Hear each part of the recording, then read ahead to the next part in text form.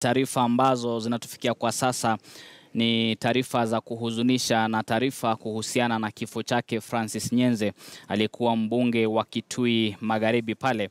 Nyenze alikuwa mbunge wa Kitui Magharibi kuanzia mwaka wa elfu mbili na kumi na tatu na akachaguliwa tena mwaka elfu mbili kumi na saba lakini tumeweza kupata taarifa ya kifo chake bila shaka hata baada ya kuripotiwa kwamba alikuwa na maumivu mwilini yaliyokuwa akimsumbua kwa muda mrefu, na hata taarifa ambayo iliweza kuvutia macho wengi ni taarifa ya kwake kuapishwa kwake, mtazamaji, kuapishwa kwake bungeni akiwa na akiwa anatumia hewa ya, ya ziada pale kupumua, mtazamaji. Na kwa sasa basi, ningependa tuungane kwa njia ya simu na seneta wa kaunti ya Kitui Enock Wambua atupashe mengi zaidi ama aweze kutuarifu mengi zaidi yaliyomkumba Francis Nyenze. Bwana Seneta, hujambo na karibu kwenye taarifa zetu za leo mashinani. Labda hebu tupe taswira kamili ya yepi ambayo ilimkumba marehemu Francis Nyenze. Uh, hivi tunavyoongea, uh, mimi na familia ya Mheshimiwa Francis Nyenze najua uh, tuko katika chumba cha kuhifadhi maiti cha Lee.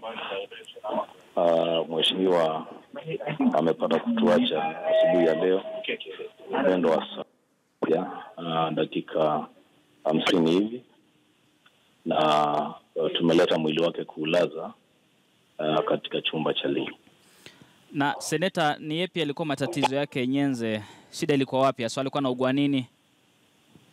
Uh, mheshimiwa amekuwa akiugua kwa kwa muda mrefu uh, tangu mwaka wa elfu mbili na nane Naam. um, na shida ya, ya cancer of the colon na amekuwa akipata matibabu huu mjini na hata nje ya Kenya Naam. na hata vile alituacha leo asubuhi alikuwa anahudumiwa katika hospitali ya Nairobi ambapo wamelazwa kwa kwa muda wa karibu mwezi mzima. Na kufikia sasa, labda manake umeweza kunieleza kwamba mnaelekea katika chumba cha kuhifadhi maiti cha Lee. Hatua ni zipi ambazo sasa mnapania kuchukua? Kwa hivi sasa, unajua hili ni jambo limefanyika asubuhi ya leo Naam. na wale tulikuwa naye jana, tulikuwa tumeongea sawasawa, naye alikuwa sawa. Tulikuwa tunatarajia kwamba anaweza tuacha uh, kwa kwa haraka vile amefanya. Naam.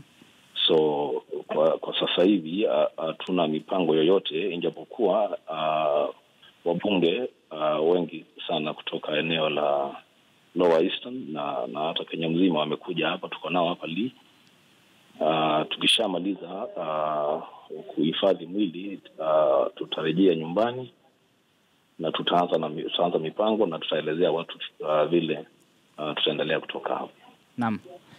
Shukran sana Bwana Seneta, bila shaka tutazidi kuzungumza kuhusiana na matayarisho kamili na maswala mengine ambayo bila shaka yanaandamana na kifo chake Francis Nyenze. Mtazamaji, huyo hapo ni seneta wa kaunti ya Kitui Enock Wambua ambaye tuko tunazungumza naye kwa njia ya simu kuhusiana na kifo chake Francis Nyenze aliyekuwa alikuwa mbunge wa Kitui Magharibi katika kaunti ya Kitui mtazamaji, na alizaliwa tarehe mbili mwezi Juni mwaka elfu moja kenda mia na hamsini na saba na kifo chake basi kimempata akiwa na umri wa miaka hamsini na tisa mta, miaka sitini hivi mtazamaji. Kwa hivyo basi huo ndio umri wake Francis Nyenze, na kiongo, alikuwa kiongozi alikuwa kiongozi bila shaka anayetambulika sana kwa kumunga mkono Kalonzo Musyoka na hasa kumtetea wakati wa uchaguzi wa kinara wa NASA. Pale alionekana katika pale maeneo ya bunge pale ama katika makao makuu ya bunge